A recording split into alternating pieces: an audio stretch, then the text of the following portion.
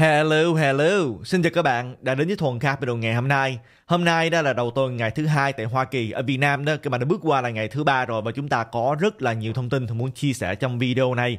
Trước hết đó, Thuận muốn dành thời gian để mà nhìn vào tình hình chung của thị trường như thế nào các bạn.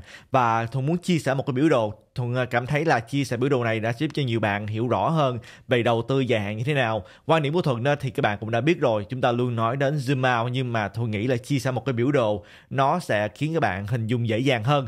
Chúng ta cũng đương nhiên sẽ nói về tình hình mới nhất liên quan đến Telegram các bạn. Chúng ta đã có cái thông tin khởi tố đến từ Pháp rồi và tình hình không có tốt các bạn. Họ muốn khởi tố tổng cộng là 12 tội danh. Có thể nói là cho tới ngày hôm qua vẫn còn có một số người đó họ nuôi một cái hy vọng. Có thể đây là một cái sự hiểu nhầm gì đó hay là uh, họ bắt giữ CEO của Telegram để hỏi một số vấn đề rồi sau đó sẽ được thả ra. Nhưng mà không các bạn tình hình bây giờ nó khá là căng để thuần chia sẻ chi tiết với các bạn và nó có ý nghĩa như thế nào. Nhưng mà trong cái tình hình này đó thuần nghĩ là cái thông tin khiến cho nhiều bất ngờ hơn đó chính là Mark Zuckerberg của Facebook các bạn của công ty Meta đã gửi một cái lá thư. Và cái lá thư này nói đó là Mark Zuckerberg muốn thay đổi xu hướng của Facebook, của công ty Meta, là bảo vệ quyền tự do ngôn luận trong bối cảnh như thế này. Để Hương chia sẻ để bạn hiểu rõ hơn, đây là một cái sự thay đổi rất là lớn. Tại vì trong lá thư đó, nó cũng nói về cái chuyện là Mark Zuckerberg đã ra quyết định là trong cuộc bầu cử tổng thống này sẽ không có quyên góp cho các đảng viên, đảng Dân Chủ các bạn. Đây là một cái sự kiện rất lớn để Thường chia sẻ để bạn hiểu rõ hơn. Đang có một cái gì đó đang xảy ra mà Thường vẫn chưa có hoàn toàn hình dung được các bạn. Chúng ta cũng đã nhớ đó là năm ngoái Thuận chia sẻ rất nhiều những cái thông tin thậm chí năm 2022 những cái lúc mà tối tăm nhất trong thị trường này các bạn khi mà giá Bitcoin xuống nó dưới 20.000 đô Thuận vẫn chia sẻ với các bạn là có rất nhiều động thái chúng ta thấy là công ty Forward đó họ lại kết hợp với công ty này công ty kia trong thị trường crypto. Họ đang thử nghiệm một cái số điều gì đó và cuối cùng đó chúng ta cũng đang thấy là BlackRock để đơn có Bitcoin Spot ETF sau đó đó các bạn thấy là Forward đã hoàn toàn ủng hộ dẫn đến ngày hôm nay. Bây giờ đây Thuận cũng có cái cảm giác đó các bạn nhưng mà Thuận cũng chưa hình dung được. Nhưng mà cái cảm giác đó tuy là chưa chưa rõ, nhưng mà Thuận cũng có một sự lạc quan trong đó, để Thuận chia sẻ những gì mà Thuận biết. Rồi chúng ta sẽ nói tiếp. Và chúng ta đương nhiên cũng sẽ nói về tình hình chung của Bitcoin Smart ETF và Ether Smart ETF hôm nay ra sao các bạn. Và nhiều những cái thông tin nổi bật khác. Nhưng mà chúng ta bây giờ hãy trở lại nhìn tổng quát thị trường tài chính. Thì chúng ta bắt đầu từ thị trường chứng khoán tại Hoa Kỳ thì hôm nay đã kết thúc như thế nào các bạn? Thì hôm nay kết thúc ờ, nó có một cái à, sự khác biệt giữa chỉ số Dow Jones và hai chỉ số còn lại. Chỉ số Dow Jones ngày hôm nay đã lập cái đỉnh mới các bạn. Chúng ta cũng đã vừa nghĩ đến cách đây khoảng chừng 3 tuần đó, thì chúng ta đã trải qua một cái ngày mà cực kỳ đỏ trên thị trường chứng khoán và những cái thị trường tài chính khác. Mà mới 3 tuần sau đó thôi đó, chúng ta đã thấy là chỉ số Dow Jones đã đập cái đỉnh mới rồi. Nhưng mà ngược lại đó, chúng ta ngày hôm nay lại thấy là những cổ phiếu công nghệ đó thì không có được tốt lắm. Chúng ta có chỉ số Nasdaq đó thì giảm 0.85 và S&P 500 đó thì giảm 0.32 hiện bây giờ đó hợp đồng tương lai nghĩa là pre-market thì không có thay đổi nhiều các bạn còn về hợp đồng của dầu đó, thì ngày hôm nay mức là 77 đô. Coi như cũng tăng một chút các bạn. Thì lý do tại sao tăng đó, có thông tin liên quan đến việc ngừng sản xuất dầu ở Libya. Thì à, hiểu rõ hơn đó là có một sự tranh chấp các bạn giữa miền đông Libya ở Benghazi và miền tây Libya ở Tripoli. Đây là hai cái chính phủ một bên là miền đông, một bên là miền tây. Họ đang tranh chấp với nhau về việc là ai nên lãnh đạo ngân hàng trung ương.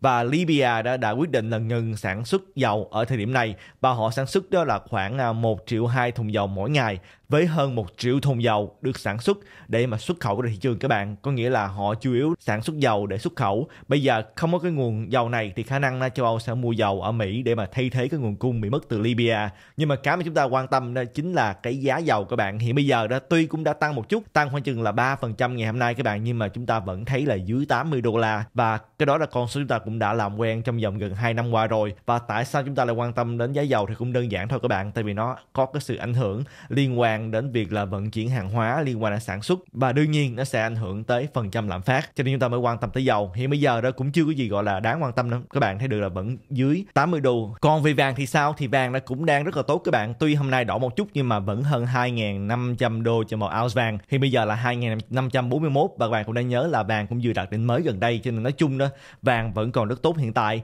Chúng ta nói về crypto thì sao các bạn? Riêng về Bitcoin đó thì hiện bây giờ ở mức là 63.100 đô, nghĩa là chúng ta thấy so với mức giá ngày hôm qua thì giảm một chút các bạn, giảm khoảng chừng là một phần trăm. Cũng không đáng kể, nhưng mà chúng ta nhìn thấy được chỉ số Nasdaq ngày hôm nay đó thì ờ, cũng giảm cỡ đó. Chúng ta cũng thấy Bitcoin hôm nay cũng giảm cỡ đó các bạn. Nasdaq đó thì ngày hôm nay kết thúc đã giảm 0.85 Bitcoin hôm nay đã giảm khoảng chừng là 1.4% nhưng mà nói chung cũng rất là tốt. Các bạn có thể thấy được là sau khi mà chủ tịch uh, John Powell phát biểu ở Jackson Hole đó thì uh, ông có cái giọng điệu rất là bồ câu chuẩn bị cắt giảm lãi suất. Câu hỏi bây giờ là sẽ cắt giảm 0.5% hay là 0.25 vào cuộc họp tháng 9 các bạn? Hiện bây giờ vẫn chưa cắt giảm lãi suất nhưng mà hiện bây giờ 100% hợp đồng tương lai là nghiêng về là cắt giảm lãi suất vào tháng 9 này.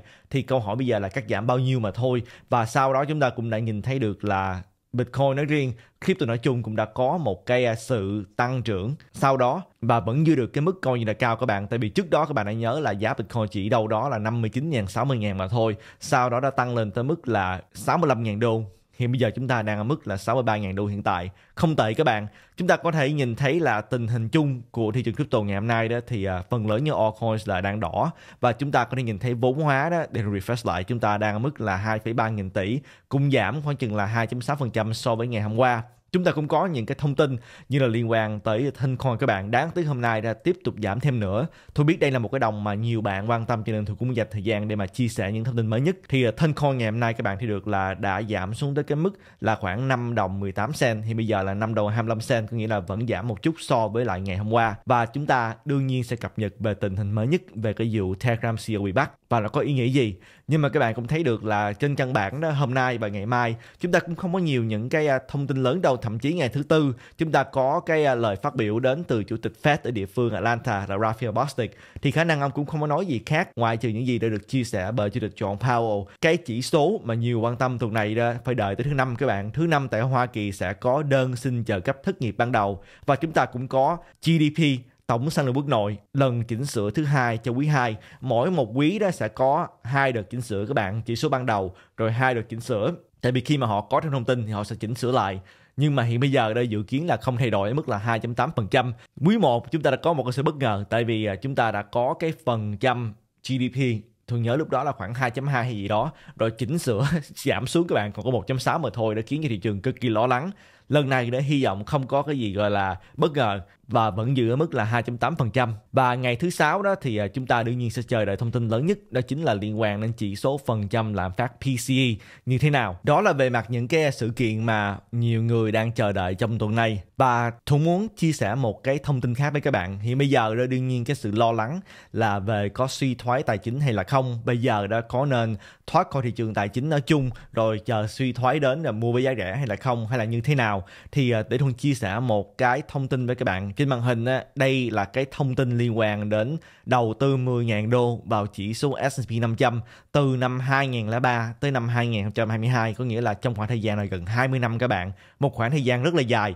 Thì trong khoảng thời gian 20 năm đó các bạn có biết là nếu như mà các bạn đầu tư 10.000 đô vào năm 2003 và các bạn để đó không làm gì hết thì à, tới năm 2022 vào cuối năm đó các bạn đã có tổng cộng là 64.844 đô. Đương nhiên nên nếu các bạn để tới năm 2024 thì à, cái con số này sẽ tăng lên tại vì chúng ta cũng vừa nói đến là chỉ số S&P 500 đã đạt đỉnh mới nhiều lần trong năm nay. Nhưng mà chúng ta tính tới năm 2022, các bạn đầu tư 10.000 vào chỉ số S&P 500, một cái chỉ số rất là thông dụng tại Hoa Kỳ. Nó là cái sự kết hợp của tổng cộng là hơn 500 công ty lớn nhất các bạn. Các bạn đã có cái lợi nhuận là 64.844 đô trong khoảng thời gian đó. Và đây là cái phần trăm lợi nhuận không tệ các bạn. Có thể là nhiều bạn đã quen với cái sự tăng trưởng trong thị trường crypto này. Các bạn à, cứ nghĩ là nếu như đầu tư 10.000 đô mà phải chờ tới gần 20 năm mới lời 6 lần thì à, quá lâu. Nhưng mà cái đó là chúng ta đang nghĩ tới thị trường à, crypto các bạn vốn hóa nhỏ cái sự tăng trưởng thì nhanh. Nhưng mà đối với chỉ số S&P 500 đó nó có cái uh, biên độ dao động nó thấp hơn thì cái phần trăm lời này cũng rất là tốt rồi. Nhưng mà chúng ta hãy nhìn vào cái cột kế tiếp. Các bạn không biết là mỗi năm đó thì đều có cái sự lên xuống lên xuống hàng ngày. Cũng giống như chúng ta cứ nhìn vào cách đây 3 tuần đi chúng ta đã có một cái ngày mà giảm rất là mạnh các bạn. Vào ngày thứ hai khi mà mọi người đột ngột lo lắng về suy thoái tài chính nhưng mà ngay sau đó chúng ta lại có một cái tuần tăng cực kỳ tốt cho cả năm nay. Thì nếu như mà các bạn rời khỏi thị trường này vào cái ngày mà nhiều người lo lắng cái tay à, ba tuần nên ngày thứ hai đó các bạn rời khỏi thị trường chứng khoán rồi sau đó các bạn trở lại bây giờ đó thì các bạn đã bỏ lỡ một cái sự tăng trưởng cực kỳ tốt. Và nếu như mà các bạn ra vào thị trường mà các bạn bỏ lỡ 10 ngày 10 ngày trong khoảng thời gian này các bạn 10 ngày trong vòng 20 năm qua thì ờ, thay vì các bạn có 64.844 đô, các bạn chỉ còn có 29.708 đô mà thôi. Tại vì sao các bạn? Tại vì 7 trong 10 ngày mà có sự tăng trưởng tốt nhất cho chỉ số S&P 500 trong vòng 20 năm qua, đó chính là trong thời kỳ bear market các bạn, thời kỳ suy thoái, chứ không có phải là thời kỳ tăng trưởng.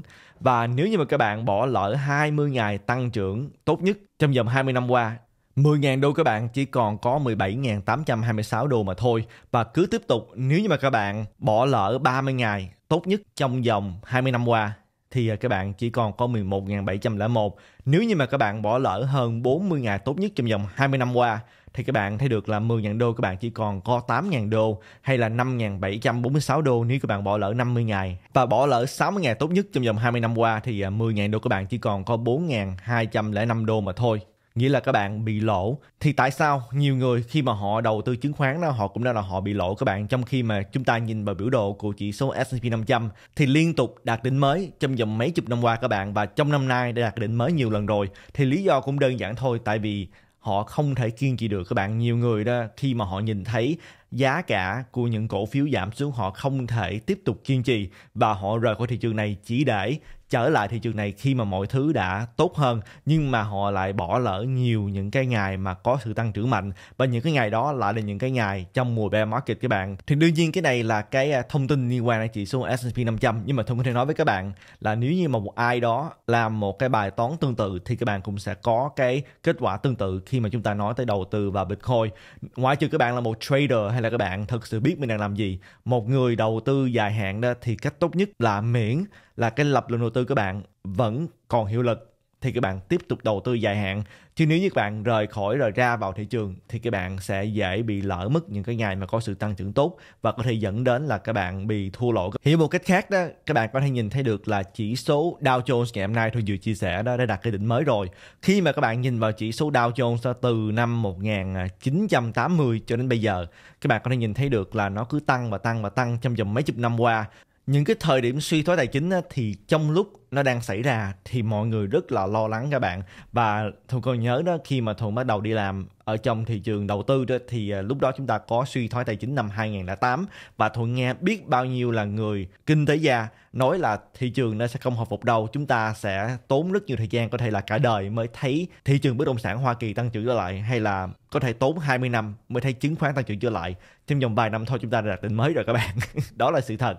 Thì à, khi mà chúng ta nhìn vào biểu đồ Dow Jones như này đó, nếu như mà các bạn không biết là đã từng có suy thoái tài chính năm 2008 hay là bong bóng com năm 2000 thì uh, nếu các bạn không biết những điều đó thuần chỉ kêu các bạn nhìn vào biểu đồ này và các bạn chỉ cho thuần biết là suy thoái nằm ở đâu thì các bạn cũng có thể là rất là khó để mà chỉ được một cách chính xác. Tại vì các bạn cũng đã biết lịch sử rồi cho nên các bạn có thể nói là đương nhiên đây là suy thoái tài chính năm 2008 nhưng mà cái sự thay đổi này, các bạn thấy được là cái phần này ở đây là suy thoái tài chính năm 2008 khi mà các bạn so với lại thời điểm covid nằm ở đây các bạn, thì à, nó cũng có cái chiều dài gần như là nhau. Hay là chúng ta nhìn thấy được là khi mà Fed tăng lãi suất năm 2022 đó cũng có đợt điều chỉnh. Ở năm 2022 thì nó cũng có cái chiều dài bằng với lại cái đợt điều chỉnh năm 2008 thì làm sao các bạn biết được cái nào mà là suy thoái tài chính? Tại vì tất cả đã qua rồi và chúng ta cũng thấy được là chỉ số này nó cứ tăng và tăng. Thì những cái mà trước đây các bạn cảm thấy được là quá kinh khủng đó thì càng ngày nó càng thu hẹp lại. Và nếu các bạn nhìn trên màn hình đó, thì các bạn thấy được là cái bong bóng com mà biết bao nhiêu người lo lắng nó nằm ngay trong phần này. Bây giờ đó các bạn hầu như không nghĩ đến nó cũng giống như là một cái đợt điều chỉnh bình thường mà thôi. Và khi mà chúng ta nhìn vào Bitcoin thì cũng tương tự như vậy. Nếu như mà chúng ta zoom ra thì bao nhiêu năm qua các bạn thấy được là giá Bitcoin đó thì ờ, liên tục có sự tăng trưởng. Đương nhiên chúng ta có những mùa đông crypto, nhưng mà các bạn thấy được là nhìn chung đó thì giá Bitcoin tiếp tục tăng trưởng trong vòng bao nhiêu năm qua các bạn? Trong vòng 15 năm qua. Những bạn nào mà theo dõi kênh nhiều năm đó, các bạn đã nhớ là năm 2018 tôi đã từng chia sẻ với các bạn là một ngày nào đó, chúng ta nhìn vào cái à, mùa đông crypto năm 2018 chúng ta sẽ không còn cảm giác gì nữa các bạn. Nó giống như là một cái sự điều chỉnh ở trong cái tuyến đường dài của Bitcoin, cũng giống như là khi chúng ta nhìn vào năm 2000 2013 các bạn. Năm 2013 14 đó, chúng ta cũng có một cái sự điều chỉnh rất là lớn. Khi mà các bạn zoom vô đó, các bạn mới thấy được là năm 2013 chúng ta đã ở cái mức là hơn 1.000 đô cho một Bitcoin các bạn. Rồi sau đó chúng ta rơi từ 1.000 đô mà chúng ta rơi xuống tới năm 2015 chỉ còn có 200 đô mà thôi.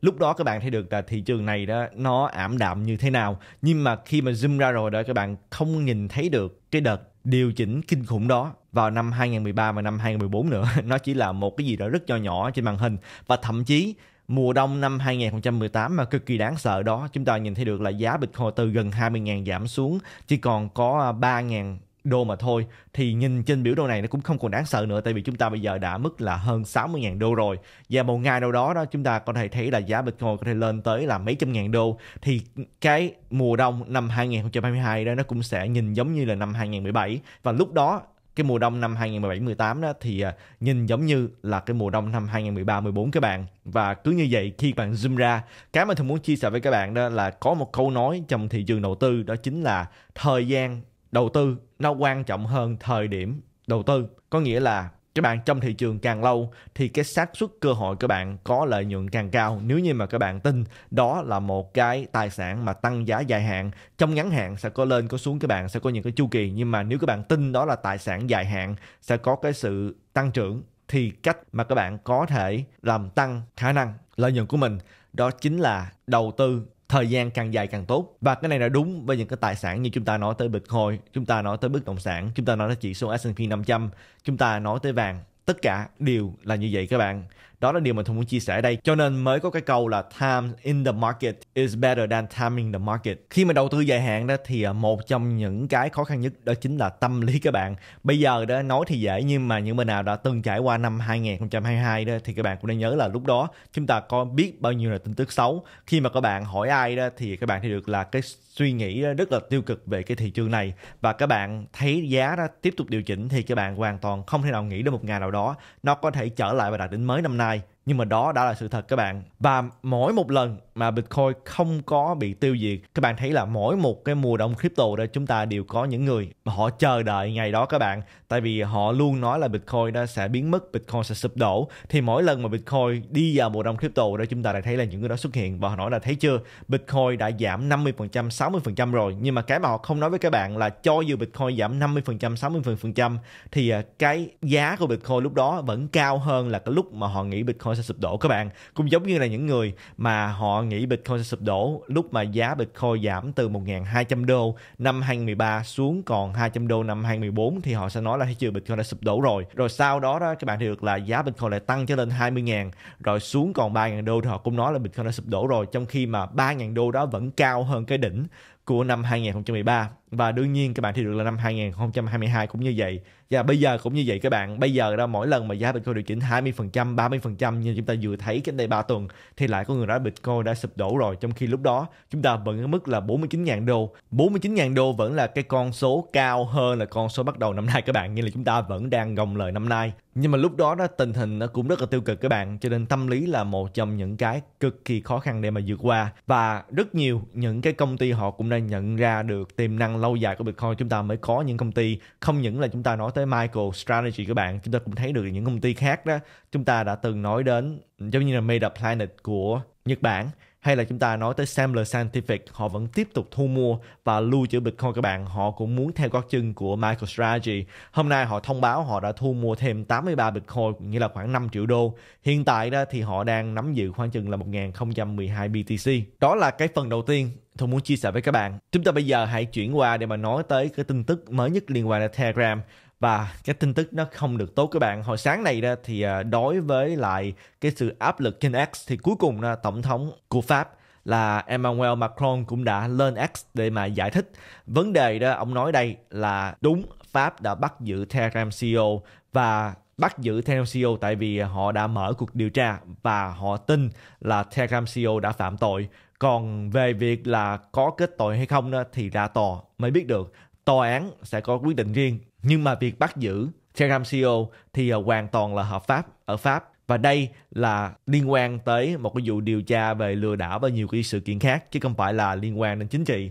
Đó là cái điều được chia sẻ bởi tổng thống của pháp các bạn. Và sau đó đó thì à, chúng ta đã có cái thông tin chính thức liên quan đến họ đã khởi tố Pavel Durov các bạn CEO của Telegram. Ngay sau đó đó, chúng ta cũng đang thấy được là cái giá của đồng thân nó tiếp tục giảm thêm nữa nhưng mà chúng ta bây giờ hãy nói tới là 12 cá buộc, họ đã đưa ra 12 cá buộc đối với Telegram CEO các bạn, và nó cũng à, khá là căng đó. Những cái cáo buộc này đã khá là nghiêm trọng, và nếu như mà bị kết tội kết tội hay không đó thì à, phải ra tòa mới biết nhưng mà nếu như bị kết tội thì có thể lãnh án lên tới là 20 năm các bạn, không phải là chuyện đùa đâu, rất là nghiêm trọng và các bạn thấy hiện bây giờ đó thì CEO của Telegram vẫn đang bị giam ở Pháp và họ nói là họ có thể kéo dài tới 96 giờ, có nghĩa là có thể là đến ngày 28 tháng 8 năm 2024 này thì à, mới cho phép được bảo lãnh và đây là theo quy trì áp dụng cho những tội phạm có tổ chức. Thì chúng ta bây giờ hãy nói tới 12 cái cáo buộc này.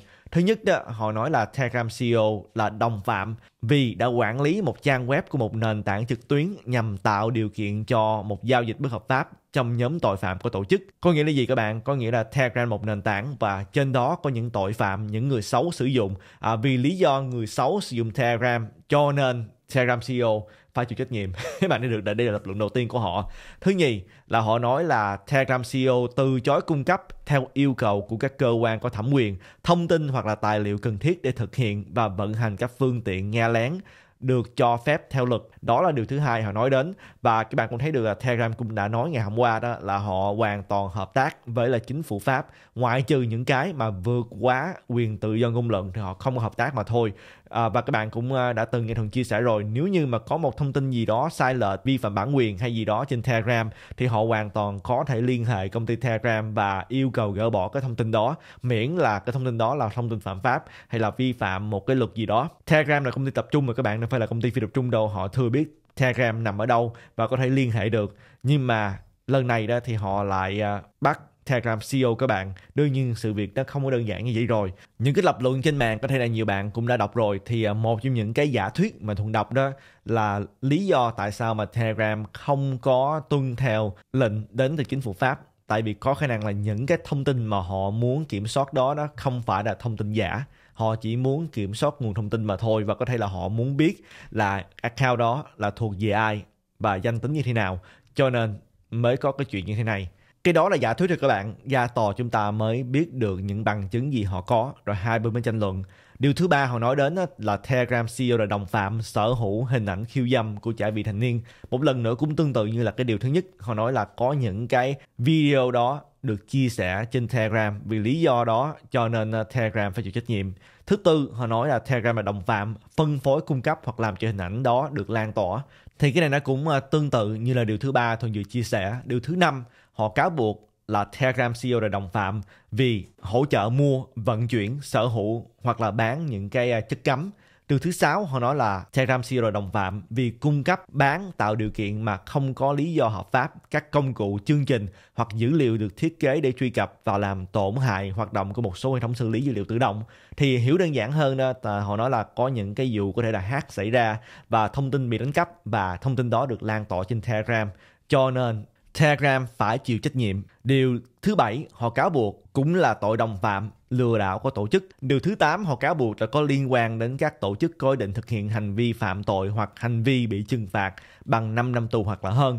Thì nó cũng à, tương tự như những cái kia rồi các bạn, nó cũng là tổng quát mà thôi. Và điều thứ chín họ cáo buộc liên quan tới rửa tiền từ những khoản thu từ các tổ chức tội phạm. Nghĩa là đây là một cái ứng dụng chat mà có thể dùng để mà liên kết những tội phạm rửa tiền với nhau. Đó là chính điều đầu tiên các bạn. Nhưng mà thường cảm thấy đó là đây là những cái điều mà chúng ta cũng đã nói tới trong video ngày hôm qua rồi.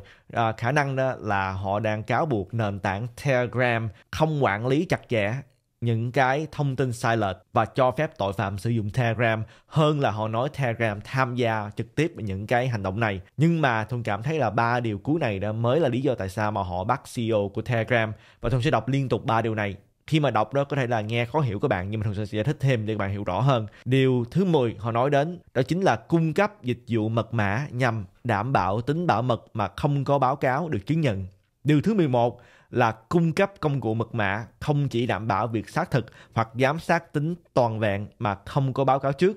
Và điều cuối cùng điều thứ 12, nhập khẩu công cụ mật mã để đảm bảo việc xác thực hoặc là giám sát tính toàn vẹn mà không có báo cáo trước thì à, đọc nghe chẳng hiểu gì hết các bạn nhưng mà để hiểu đơn giản đó thì ba điều này nói là Pháp nói Telegram đã cung cấp dịch vụ chat mã hóa mà không báo cáo với chính phủ Pháp và xin phép trước. Chính phủ Pháp không thích những cái ứng dụng chat mà họ không thể giải mã được và họ không có được thông tin người dùng. Thuần nó thì không có rõ là phải xin phép như thế nào ở Pháp để hoạt động một cái uh, ứng dụng chat như là Telegram. À, uh, Thuần nghĩ là có khả năng khi mà xin phép đó, thì phải cung cấp cái giao thức để có thể là giải mã được bởi chính phủ Pháp. Có thể là như vậy thôi không biết các bạn cái này là thuần tự suy đoán mà thôi chứ còn sự thật như thế nào đó thì ra tòa mới biết được. Nhưng mà một mặt khác đó khi các bạn đọc thông tin này thì các bạn có thể cảm thấy được là ứng dụng chat Telegram nó rất là bảo mật các bạn không ai hack được và không ai có thể theo dõi được bất kỳ ai trên đó. Cho nên nó mới có giá trị và được sử dụng rất là nhiều nhất là được sử dụng để mà cung cấp rất nhiều những cái thông tin liên quan đến chính trị ở trên Telegram. Về à, Telegram đó, thì à, chúng ta đương nhiên tham gia phần lớn các bạn tham gia vào cái phần tài chính và riêng về crypto mà thôi. Nhưng mà Telegram, họ có rất là nhiều những cái phần khác nhau và có rất là nhiều những cái thông tin liên quan đến chính trị và chiến tranh. Và đương nhiên, đó là những thông tin mà cực kỳ đáng giá đối với lại những cái quốc gia. Và đây là những cái cáo buộc các bạn nó rất là nghiêm trọng như thường đã chia sẻ. Bây giờ đây khi nào ra tòa chúng ta vẫn chưa có biết, nhưng mà khả năng ra tòa chúng ta mới biết rõ hơn là những gì đã xảy ra. Các bạn, họ đòi hỏi gì và Telegram đã cung cấp gì? Và Telegram có thực sự có tội hay là không? Tới đó chúng ta mới biết được tình hình bây giờ đó thì không có lạc quan cho Pavel Durov các bạn dựa theo Polymarket trang web cá cược. Thì à, cái khả năng mà Pavel Durov được trả tự do vào tháng 8 này là chỉ có 26% mà thôi, không có cao lắm. Thì các bạn cũng à, đọc một số những cái thông tin liên quan đến à, đại sứ quán của Nga cũng đã liên lạc với lại chính phủ Pháp về việc là thả tự do cho à, Pavel Durov. Thì có nhiều bạn cũng thắc mắc tại sao mà Pháp có thể bắt giữ được người Nga và phớt lờ các yêu cầu từ đại sứ quán Nga ở nước Pháp thì để hiểu rõ hơn đó, Pavel Durov là một trong người mà có nhiều quốc tịch các bạn tại vì sau khi mà Pavel Durov rời khỏi nước Nga đó tại vì nước Nga cũng muốn lấy những thông tin như thế này. Và sau khi mà Pavel Durov rời khỏi nước Nga à, và đã có nhiều quốc tịch và gần đây nhất đó là nhập tịch Pháp vào năm 2021 thì đương nhiên bây giờ đã Pháp đang bắt giữ Pavel Durov là một người mà có quốc tịch Pháp. Thì trên căn bản họ đang giam giữ công dân của chính mình cho nên tôi đang nói là hiện bây giờ đó không ai có thể can thiệp được các bạn. Chúng ta chỉ chờ ngày ra tòa mà thôi để xem như thế nào. À, có thể là hiện bây giờ đó Pierre cũng uh, rất là hối hận vì đã nhập tịch Pháp năm 2021 chứ nếu không thì bây giờ tình hình có thể là đã khác hơn rồi. Nhưng mà thuần cảm thấy thế giới thật sự là xoay tròn các bạn. Mọi thứ đó nó thường cho chúng ta những cái bất ngờ. Pavel Durov rời khỏi nước Nga tại vì Putin đòi lấy những cái thông tin này. Nhưng mà bây giờ lại chính nước Pháp lại là người mà bắt giữ Pavel Durov các bạn. Và cũng vì lý do là họ muốn lấy những cái thông tin người dùng ở trên Telegram và họ muốn kiểm soát Telegram. À, đương nhiên thì bây giờ đây chúng ta thấy được là nước Nga đang rất là nỗ lực à, để có thể à, giải cứu được cho Pavel Durov lý do tại sao đó tôi nghĩ là nó đi xa hơn về mặt chính trị các bạn. Tại vì à, tôi nghĩ là nếu như mà Pavel Durov chia sẻ thông tin đó với lại một quốc gia nào khác thì cũng sẽ khá là bất lợi về nước Nga. Tại vì trên đó cũng có rất là nhiều những cái thông tin về ờ, chiến tranh giữa Nga và Ukraine các bạn. Tại vì ờ, theo tôi biết là cũng có rất nhiều người Ukraine sử dụng Telegram và cũng rất nhiều người Nga sử dụng Telegram à, cho nên có thể là rất bất lợi. Nói chung đây là cái thông tin mà ai cũng muốn biết.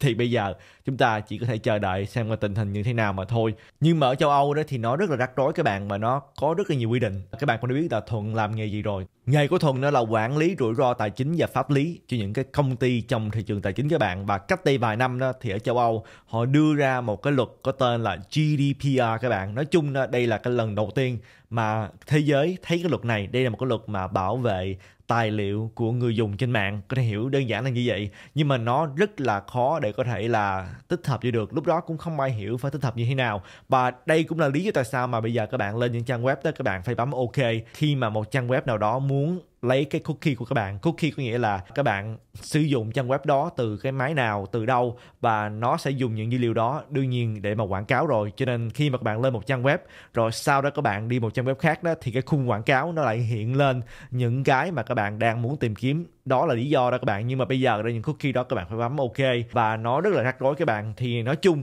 nếu như một ai đó hỏi thuận về có nên phát hành sản phẩm tài chính ở một số nơi hay không đó, thì à, thuận sẽ nói là nên tránh châu âu và nên tránh new york các bạn. Đó là những cái nơi mà thuận à, không có thích làm việc, tại vì à, chính quyền địa phương ở đó nó rất là khó khăn đối với những công ty tài chính. Các bạn nghĩ là new york, các bạn nghĩ đến là phố wall các bạn nghĩ đến thị trường tài chính thì đúng các bạn, nhưng mà đó là một cái thị trường tài chính đã có lâu đời rồi. Các bạn là một công ty mới mà các bạn muốn có chỗ đứng ở New York đó thì cực kỳ khó khăn luôn. Cái gì cũng mắc các bạn và có cực kỳ nhiều quy định. Và nhiều khi đó thuận nghĩ những quy định đó chủ yếu đó không phải là bảo vệ nhà đầu tư các bạn mà chủ yếu những quy định đó được lập ra để khiến cho một công ty mới họ phải có cái số lượng tiền rất là lớn để có thể mướn nhân viên, mướn nhân luật sư để có thể thành lập một công ty ở New York. Và đương nhiên đó là một cái rào cản rất lớn khiến cho ít công ty đến New York để mà cạnh tranh hơn. Và những công ty ở phố Wall hiện bây giờ đã họ tiếp tục trở thành là những công ty tài chính lớn. Đó là cái suy nghĩ cá nhân của thuận mà thôi. À, và đương nhiên như mà nào mà sống ở New York đó thì à, thuận cũng đã từng sống ở New York hơn một năm các bạn thuận làm việc ở phố Wall trong thời gian đó thuận cũng đã chia sẻ nhiều video với các bạn. Cho nên thuận khá là hiểu về cái khía cạnh này. Nhưng mà chúng ta bây giờ hãy trở lại với là tình hình của Telegram đi thì các bạn có thể thấy được chỉ vì một ai đó tạo một nền tảng mà nền tảng đó đó không có cung cấp thông tin cho một chính phủ nào đó thì à, có thể là bị bắt và có thể là bị tù một thời gian dài đây là một trong những điều mà khiến cho rất là nhiều người lập trình các bạn những cái chủ của những công ty software có thể là rất là lo lắng và đây cũng là lý do tại sao mà tôi nghĩ Satoshi đã biến mất. Có thể nói Satoshi biến mất đã khiến cho mạng lưới Bitcoin mạnh hơn bao giờ hết. Những gì xảy ra với lại Telegram không thể xảy ra với lại Bitcoin các bạn, tại vì không có một ai đứng đầu Bitcoin hết Bitcoin không có ai đứng sau lưng, không có công ty nào hậu thuẫn, à, cũng không có năn nỉ ai tham gia vào mạng lưới để mà đào. Nhưng mà mạng lưới Bitcoin vẫn ngày càng phát triển các bạn. Bitcoin vẫn tiếp tục là đồng lớn nhất trên thị trường này và đó chính là sức mạnh của Bitcoin các bạn. Không có người dẫn đầu và một cái hệ thống mà có cộng đồng rất là phi tập trung và có thể nói là Satoshi người đó hay là nhóm đó đó thực sự có tầm nhìn xa. Bây giờ đó nhìn lại thì mọi thứ nó rõ ràng hơn. Nhưng mà cái quyết định Satoshi rời khỏi và không xuất hiện nữa là cái quyết định khiến cho mạng lưới Bitcoin ngày lại càng vững chắc và lớn mạnh hơn. Và chúng ta cũng đã từng nói đến cái sự việc uh, của Telegram nó ảnh hưởng như thế nào về crypto nói chung các bạn. Về giá trị của một mạng lưới thật sự phi tập trung và đương nhiên về giá trị của những tài sản mà hoàn toàn phi tập trung như là Bitcoin. Và các bạn có biết Pavel Durov là một tỷ phú có tài sản khoảng chừng là hơn 15 tỷ đô la, có nghĩa là Pavel Durov, CEO của Telegram đó là người giàu 120 trên thế giới. Chính phủ Pháp có thể lấy đi rất nhiều thứ của Pavel Durov nhưng mà một thứ họ không lấy được đó chính là Bitcoin các bạn. Thì các bạn cũng nên nhớ là trong cái cuộc uh, phỏng vấn với lại uh, Tucker Carlson vào tháng 4 của năm nay thì Telegram CEO cũng đã nói với lại Tucker Carlson là tôi đã có vài trăm triệu đô la trong tài khoản ngân hàng bằng Bitcoin kể từ 10 năm trước. Kể từ 10 năm trước các bạn có nghĩa là vài trăm triệu đô la bằng Bitcoin 10 năm trước thì bạn có thể nghĩ là bây giờ nó đáng giá như thế nào. Thì ít ra cái phần đó sẽ không thể bị tịch thu. Để Thuần chia sẻ để các bạn à, nghe là cái phần này nó chỉ có 4 4 giây mà thôi. Also for me it was never about money, right? So I have a few hundred million dollars in my bank account or in Bitcoin since 10 years ago and uh, I don't do anything with it. I don't own any like, real estate jets uh, or yachts. I don't think those uh, uh, this lifestyle is for me. I like to focus on what we are doing with Telegram. You don't own anything? Like yeah. big assets. You don't no, own no big assets. Exactly. An island in Hawaii or no, no, no, no land, no real estate, nothing. Why? Well, because for me, my number one priority in life is my freedom. Các bạn cũng đã nghe rồi, ngoại trừ sở hữu Telegram thì không sở hữu bất cứ thứ gì khác. Fedorov chỉ sở hữu Bitcoin và một số tiền mặt mà thôi, không có sở hữu những tài sản khác. Tại vì cái điều quan trọng nhất đó chính là cái sự tự do đó là sự chia sẻ đến từ Paul Durov các bạn. Thuận chia sẻ lại để các bạn hiểu rõ hơn, tại vì khi mà có một sự kiện gì đó xảy ra, thì à, một số người lại nói là thuận cứ cố gắng gán ghép crypto với cái sự kiện đó. Không phải đó các bạn, sự thật đó là Bitcoin và crypto thực sự là một phần của đời sống rồi, cho dù là các bạn tin hay không tin, nó thật sự là một phần rồi các bạn, và nó gắn liền với rất nhiều đề tài. Nó gắn liền với lại đề tài tài chính phố war nó gắn liền với lại đề tài tự do ngôn luận, nó gắn liền với lại đề tài liên quan tới bầu cử tổng thống chính trị, nó gắn liền với rất nhiều thứ ở trên thế giới này. Và các bạn cũng thấy được không phải thuận nói, mà chính Telegram CEO đã nói với Tucker Carlson về cái sự quan trọng của Bitcoin như thế nào. Và nói tới đây đó thì à, chúng ta cũng có một cái thông tin rất là thú vị các bạn. Đây là một cái bài viết ở trên trang web CNBC và bài viết này đó chủ yếu là nói về những gì đã xảy ra, tại sao mà cựu tổng thống Trump à, lại đột ngột ủng hộ Bitcoin trong khi mà mấy năm trước đó thì ông nghĩ Bitcoin là một cái gì đó cạnh tranh với đồng đô la chứ mà không có thích. Nhưng mà tại sao mà đột ngột ông lại ủng hộ Bitcoin? Thì à, dựa theo CNBC đã tổng cộng là có ba người các bạn ba người đó thực ra các bạn cũng không có biết nhiều đâu. Chúng ta chỉ biết một trong ba người đó chính là David Bailey là CEO của Bitcoin Magazine. Nhưng mà hai còn lại đó là hai người đó thường nhớ là chủ của những công ty đào nhưng mà nói chung đó thì ba ba người này đã mất 3 tháng trời để mà thuyết phục uh, cựu tổng thống Donald Trump ủng hộ Bitcoin các bạn. Và một trong những điều à, được nói đến uh, bởi David Bailey nghĩa là CEO của Bitcoin Magazine thì David Bailey đã hứa là sẽ có 100 triệu đô la tiền quyên góp bầu cử và 5 triệu phiếu bầu nếu như mà cựu tổng thống Trump ủng hộ Bitcoin. Thì cái này cũng không như là quá lạ đâu. À, khi mà thằng chia sẻ cái phần này thì nhiều nói là thấy chưa? Cựu tổng thống Trump chỉ ủng hộ Bitcoin chỉ vì mang lợi ích mà thôi các bạn. Thì nó cũng như là tất cả những ai mà tham gia vào thị trường này lý do tại sao mà các bạn tham gia vào Bitcoin? Lý tại sao mà Thuận tham gia vào? Lý tại sao mà phố Wall hoặc Bitcoin thì cái lý do chỉ đơn giản thôi, tại vì chúng ta đến thị trường này vì hai chữ lợi ích các bạn. Cho dù các bạn đến từ góc cạnh nào, một công ty họ tham gia vào đào Bitcoin họ bỏ tiền ra, trả tiền điện, mướn nhân viên để mà đào Bitcoin tại vì họ tin đào Bitcoin thì họ có thể bán được với cái giá tốt và có lợi cho nên uh, họ tin Bitcoin mang đến lợi ích cho họ. Thuận đầu tư Bitcoin tại vì tin đó là một tài sản lưu trữ giá trị thì nó sẽ có cái sự tăng giá tốt hơn là lạm phát trong thời gian dài và nó tốt hơn một số những tài sản khác đối với thuần trên hình lưu trữ dài hạn. Có một số bạn thì các bạn nghĩ uh, Bitcoin là một cái công cụ đầu tư đa dạng hóa cho nên uh, các bạn muốn phân mua một phần vào cũng giống như các bạn phân bổ vào những cái mảng đầu tư khác nhau. Và có một số người họ tin Bitcoin là tiền tệ các bạn giống như là những người ở El Salvador thì họ lưu trữ Bitcoin để mà sử dụng hàng ngày cũng có thể. Bất cứ ai đến thị trường này đó cũng vì hai chữ lợi ích hết, tôi đã từng chia sẻ với các bạn rồi. Và một chính trị gia đến với thị trường này thì đương nhiên cũng là vì hai chữ lợi ích. Và phố Wall đến thị trường này cũng là vì hai chữ lợi ích các bạn. Nhưng mà cái điều quan trọng hơn, khi mà chúng ta nói đến những công ty phố Wall tham gia vào thì nhiều người nói là họ chỉ tham gia vào tại vì có lợi ích mà thôi. Đúng hoàn toàn các bạn, nhưng mà các bạn nên biết là cái lợi ích đó không phải là chỉ riêng cho phố Wall các bạn, mà đó là một lợi ích cho rất nhiều người. Khi mà BlackRock họ muốn có Bitcoin Spot ETF họ để đơn. Các bạn hãy nhớ lúc đó là hè năm ngoái, lúc đó giá Bitcoin đâu đó là 26.000 đô mà thôi. Các bạn thấy được là sau khi mà có Bitcoin Spot ETF giá Bitcoin đã đạt cái đỉnh mới trước ngày halving luôn, lên tới mức 73.000 đô. Và bây giờ vẫn là khoảng 63.000 đô các bạn, trong khi mà cách đây một năm chỉ có 26.000 đô mà thôi. Thì các bạn thấy được là chính vì BlackRock tham gia vào, tại vì họ nghĩ nó mang tới lợi ích, dẫn đến giá cả tăng và nó mang lại lợi ích cho những người khác tham gia vào thị trường này. Cái đó mới là cái điều quan trọng hơn. Và nếu mà chúng ta nói tới những cái sự hứa hẹn của David Bailey thì cũng không có gì gọi là à, quá bất ngờ đâu. Các bạn à, cũng nên nhớ là những cái thống kê đến từ những công ty như là Coinbase thì họ thống kê tới 52 triệu người dân Hoa Kỳ lưu trữ Bitcoin. Đương nhiên thống kê đó có thể là bị quá. Chúng ta có thể à, lấy cái đó chia ra làm à, phân nửa thôi. Giả sử này chỉ có 26 triệu người dân Hoa Kỳ lưu trữ Bitcoin, crypto mà thôi. Thì đương nhiên không phải ai đó cũng à, nghĩ đây là cái vấn đề quan trọng nhất trong bầu cử. Nhưng mà cũng sẽ có một phần họ nghĩ như vậy thì có thể là chỉ 5 triệu người. Trong số đó là một phần rất là nhỏ các bạn. Nếu như chúng ta tính con số 52 triệu thì 5 triệu chỉ là 10% của tổng cái số được chia sẻ bởi Coinbase. Thì nếu như chỉ có 10% ủng hộ cựu tổng thống Trump tại vì cựu tổng thống Trump ủng hộ crypto. Các bạn thấy được là lợi ích đó, nó đến từ cả hai bên. Cựu tổng thống Trump thì được phiếu bầu người ủng hộ ông thì à, chờ đợi ông ủng hộ. Nếu ông đắc cử đó thì giá có thể tăng. Cả hai đều có lợi ích các bạn. Vì lý do đó các bạn thấy được là một mạng lưới cái gì đó mà nó gây dựng chỉ trên hai chữ lợi ích là một cái mạng lưới cực kỳ vững chắc và đương nhiên về chuyện 100 triệu USD tiền quyên góp đó, thì ai mà không muốn các bạn nếu các bạn là một người đứng ra bầu cử.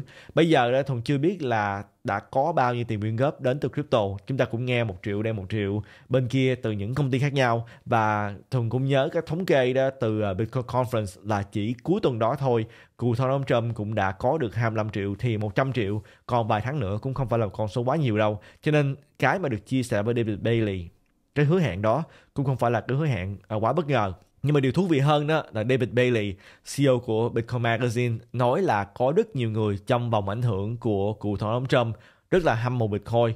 Có thành viên trong gia đình ông cũng là người ham mộ Bitcoin. Chúng ta cũng đã biết bây giờ đó là con của ông Donald Trump Jr. và Eric Trump cũng là người ham mộ Bitcoin và crypto. Giờ đang muốn tạo ra một cái hệ thống DeFi. Và điều thú vị hơn hết á, là Donald Trump nói ông đã bán bất động sản để đổi lấy Bitcoin. Đây là cái điều mà Thuận nghĩ lần đầu tiên Thuận nghe. Còn về tình hình bầu cử thì sao các bạn? Thì đương nhiên có rất nhiều trang thống kê khác nhau. Cái trang mà nhiều người thích sử dụng ở trên X ở chính là Polymarket các bạn đây là một cái trang cá cược mà thôi, nó cũng không có chính xác đâu, nhưng mà đây là con số mà nhiều người theo dõi cho nên tôi muốn cung cấp với các bạn. Hiện bây giờ đó thì à, vẫn là nghiêng về cựu tổng thống Trump, nhưng mà khoảng cách không có xa các bạn. Khoảng cách là một phần trăm mà thôi 50% nghiêng về Trump 49% nghiêng về Harris hiện tại. Và hôm nay đây chúng ta cũng có cựu nghị sĩ, đảng, Dân Chủ Tulsi Gabbard chính thức ủng hộ Donald Trump. Thì à, các bạn nghe cựu nghị sĩ thì các bạn cảm thấy là nó cũng không gì là đáng quan tâm, nhưng mà thực sự rất đáng quan tâm các bạn bà cũng là người có sức ảnh hưởng và bà đến từ đảng bên kia, không phải là đảng của cựu thần ông Trump. Và đương nhiên Tulsi Gabbard là một trong những người mà rất ủng hộ Bitcoin. Và một cái điều khác nữa khiến cho người bất ngờ, đó chính một cái lá thư các bạn. Đây là cái lá thư của Meta được gửi từ Mark Zuckerberg đến đâu các bạn? Đến cho Jim Jordan. Thì Jim Jordan là chủ tịch ủy ban tư pháp hạ viện. Thì Mark Zuckerberg đó đã bất ngờ tuyên bố là sẽ không đóng góp tiền cho những ứng cử viên của đảng Dân Chủ trong chu kỳ bầu cử này. Mark Zuckerberg đã gửi một lá thư gây chấn động đến Chủ tịch Ủy ban Tư pháp Hạ viện Jim Jordan bày tỏ sự hối tiếc về việc Meta tuân theo áp lực từ chính quyền Biden để mà kiểm duyệt nội dung liên quan đến COVID-19. Vào năm 2021, nói chung nó không phải là riêng Facebook của các bạn Google cũng như vậy. À, thường nhớ là năm 2021 đó 20 21 lúc đó nếu như mà một video của Thuận mà có cái chữ Covid 19 thì cái video đó sẽ bị đánh dấu ngay các bạn. Và Mark Zuckerberg tiết lộ là Nhà Trắng đã nhiều lần thúc giục Meta gỡ bỏ nội dung liên quan đến Covid bao gồm các nội dung hài hước và châm biếm như là những cái meme đó các bạn. Và cam kết sẽ phản kháng nếu như mà Nhà Trắng tiếp tục gây áp lực. Thì có phải Mark Zuckerberg đã biết gì? Cho nên mới có cái bước đi này hay là không? Tại vì đây là một bước đi cũng khá là nguy hiểm. Nếu như mà Trump không đắc cử đó mà chúng ta có một cái chính quyền tương tự như là chính quyền Biden đó, thì có thể là Meta sẽ gặp nhiều rắc rối. Và gần đây chúng ta cũng thấy Mark Zuckerberg đó cũng đã cải thiện rất là nhiều à, cái hình ảnh của mình. Không những là về à, khuôn mặt cách nhìn à, mà cũng à, về rất nhiều tư tưởng các bạn. Có nhiều cái sự thay đổi nhiều người nói là tại vì Mark Zuckerberg đã chuẩn bị đi vào con đường chính trị cho nên à, muốn có một cái sự thay đổi để à, có thể có được cái sự đồng cảm và cái à, sự yêu thích của nhiều người hơn. Cũng có thể thậm chí hy vọng là Facebook không có gắt gao như là hiện bây giờ nữa các bạn. Tại vì bây giờ đó, nhiều khi à, thuận đăng à, một cái meme thôi đó mà cũng có thể dẫn đến là kênh của thuận capital, fanpage trên facebook có thể bị lock cả năm luôn các bạn. Có nghĩa là không có giới thiệu cho nhiều người cả năm luôn, chỉ vì thuận chia sẻ một cái meme mà thôi. Và chúng ta cũng có một cái thông tin liên quan đến SEC sẽ tiếp tục cái vụ kiện với đại sản Kraken. Cái này chúng ta cũng đã nói tới cái t hai ngày rồi. À, thật ra đó khi mà nhìn những cái thông tin là cái vụ kiện giữa SEC và Kraken tiếp tục tiến một bước nữa, có nghĩa là chuẩn bị ra tòa. Nghe như tin tức xấu các bạn, tại vì Kraken cũng đã nói với tòa án là nên bác bỏ vụ kiện này, nhưng mà tòa án thì lại không đồng ý, nói là bây giờ phải ra tòa. Thuần thì không nghĩ nó xấu gì đâu, Thuần nghĩ là chúng ta có được ngày hôm nay cho dù là 4 năm qua đó chúng ta bị biết như áp lực đến từ chính quyền của tổng thống Joe Biden. Nhưng mà chúng ta vẫn tiếp tục tiến tới, chúng ta có Bitcoin Spot ETF chúng ta có Bitcoin All Time High. Tại vì thị trường này tiếp tục tiến tới các bạn, cho dù là nó khó khăn như thế nào. Và cũng chính những cái vụ kiện tụng này đã khiến cho thị trường này đang ngày càng phát triển tốt hơn. Tại vì chúng ta đã có những cái mà trước đây chúng ta không có có thể nói được là bây giờ chúng ta đã có XRP không phải là chứng khoán, chúng ta cũng đã có Bitcoin Spot ETF cũng là vì kiện tụng mà ra. Chúng ta có Ether Spot ETF tại vì Ether không phải là chứng khoán các bạn thấy được là nó đã có rất là nhiều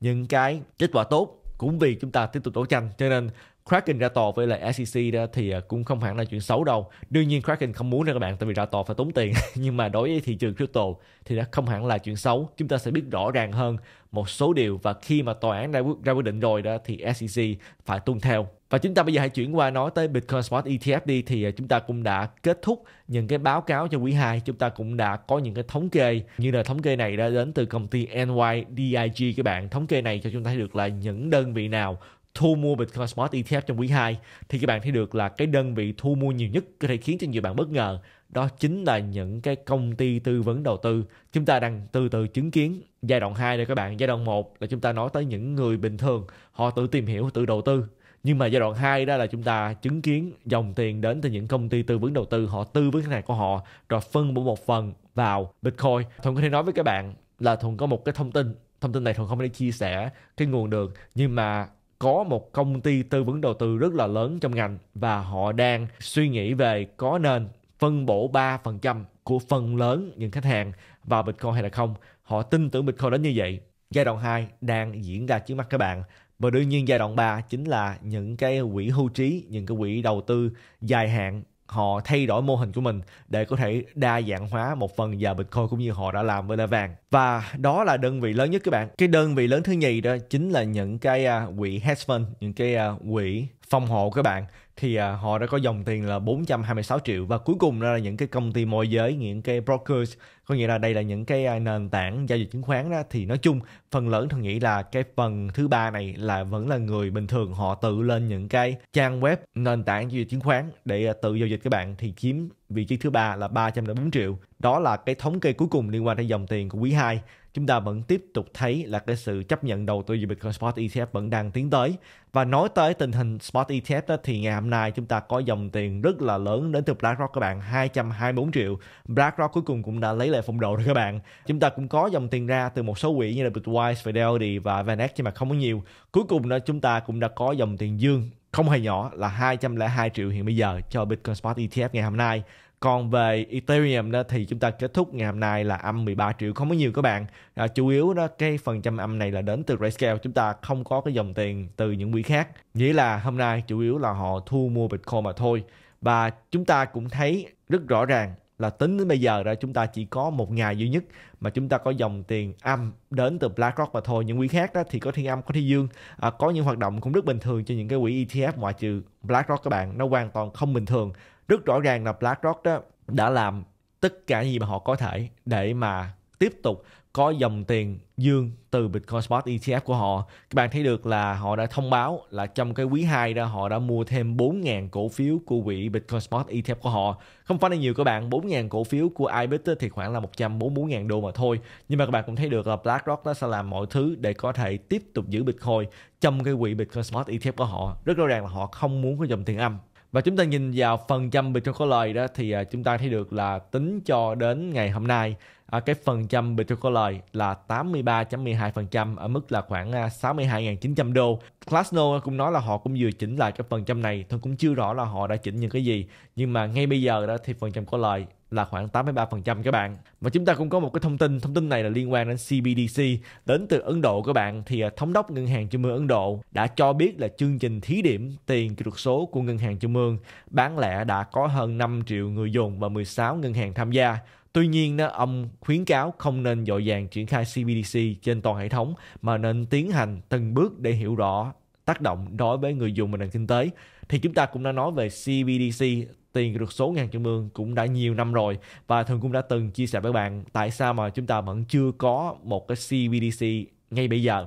Lý do là tại vì nó không có đơn giản các bạn. Khi mà bắt đầu triển khai sẽ có rất là nhiều thứ mà mọi người không nghĩ đến. Chỉ đơn giản thôi, nghĩ đến việc là khi mà chúng ta có một cái CBDC thì cái quan hệ giữa người dân và ngân hàng trung ương sẽ như thế nào. Các bạn thấy được là phần lớn đó, người dân sẽ sử dụng ngân hàng thương mại ngân hàng thương mại đó sẽ có cái account ở ngân hàng trung ương. Thì nếu như chúng ta đã có CBDC rồi, thì chẳng khác gì là người dùng giữ tiền trực tiếp được phát hành bởi ngân hàng trung ương các bạn. Và có một cái account, một cái ví trực tiếp với ngân hàng trung ương thì nó hoàn toàn khác với hệ thống hiện bây giờ.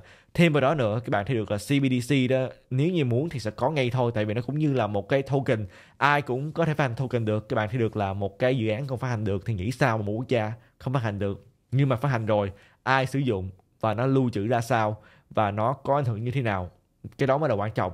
Các bạn thấy được là những quốc gia như là Venezuela, họ cũng đã từng thử có đồng petro CBDC nhưng mà cuối cùng họ cũng đã phải bỏ cuộc. Các bạn, Trung Quốc đã thử nghiệm, biết như năm nay tới bây giờ đó thì vẫn là thử nghiệm mà thôi, trong một cái phạm vi cho phép và với một số tiền nhỏ. Tại vì sao các bạn? Tại vì khi mà chúng ta có CBDC rồi, thì khi mà mọi người giao dịch với nhau thì cái đó tốt, nhưng mà các bạn nên biết là những cái công ty khi mà họ có CBDC thì đâu phải là họ chỉ giao dịch trong nước đâu. Những công ty đó họ phải xuất khẩu, nhập khẩu, họ phải di chuyển tiền qua lại nhiều quốc gia khác nhau. Thì khi mà họ mua hàng từ một quốc gia khác thì cái công ty bán hàng cho họ có thể là không có chấp nhận CBDC không có cái ví để chấp nhận các bạn. Và khi chấp nhận rồi thì làm sao họ đổi ra tiền mặt được để có thể giao dịch với lại một quốc gia khác? Tại vì họ cũng là một công ty, họ nhập hàng từ quốc gia khác vào. Các bạn thấy được là nó khó khăn hơn rất là nhiều khi mà chúng ta nghĩ kỹ hơn về CBDC cho nên tới bây giờ chúng ta vẫn không có một cái CBDC thật sự được sử dụng.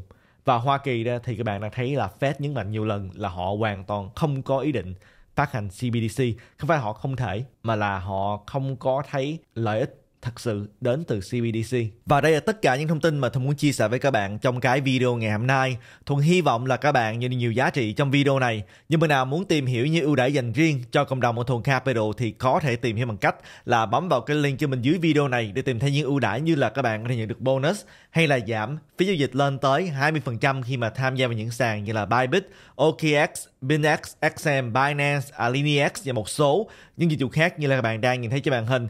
Nhưng mà nào mà sử dụng sàn giao dịch thì chỉ nên dùng để mà giao dịch mà thôi, không nên lưu trữ quá nhiều tiền trên sàn. Và Thuận sẽ hẹn gặp lại các bạn trong video kế tiếp. Tạm biệt các bạn.